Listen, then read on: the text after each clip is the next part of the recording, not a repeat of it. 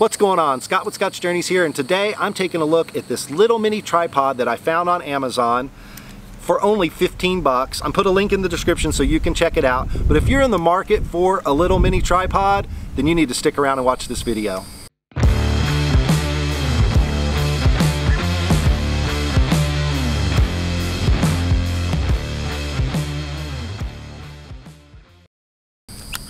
First thing that I noticed was the size. It is small and compact, and that's exactly what I was looking for. It, when it's fully extended, it measures out to nine inches.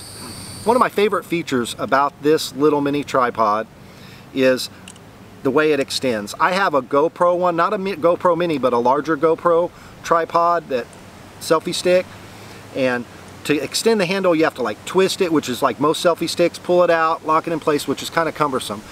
But with this one, it's just got a cool slide and it holds very well and I just love that feature. Another feature that's really good is the handle and the base are made of a non-slip material so it holds in your hand really good. You can open it up, put it down, and you don't have to worry about it sliding around. It's made to either put an action camera, and that's what I bought it for. I wanted to make a little rig that I could use with my Osmo Action that was small and compact so when I don't feel like carrying around all the rest of the gear but I want to have something to vlog and film with I could literally have this, throw it in the backpack, fit it in my pocket and I have a little rig set up to go vlogging. You can also use it with your cell phone using this adapter and your cell phone mount just like that. To hook your action camera up or whatever mount you're going to use. You just put it in there like that. Comes with the bolt. Screws in nice. And boom, you have a little vlogging setup that you can use. You got the mount.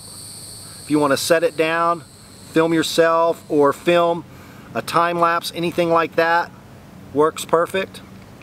All in all, for $15 or $16, I think it's something like that, on Amazon. I put the link below, check it out.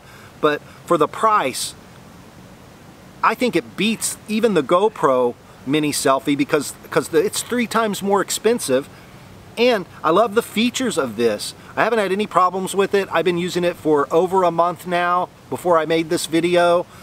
And that's why I felt kind of strongly like, hey, I need to share this because I think it's a really good mini tripod. If you're looking for that sort of thing, definitely check it out. I hope you found this video useful. If you did, please hit that like button. If you want to see more videos like this or more adventures, please hit the subscribe button, hit the bell notification so you can be notified of future videos. I'm Scott with Scott's Journeys, and I will see you in the next video.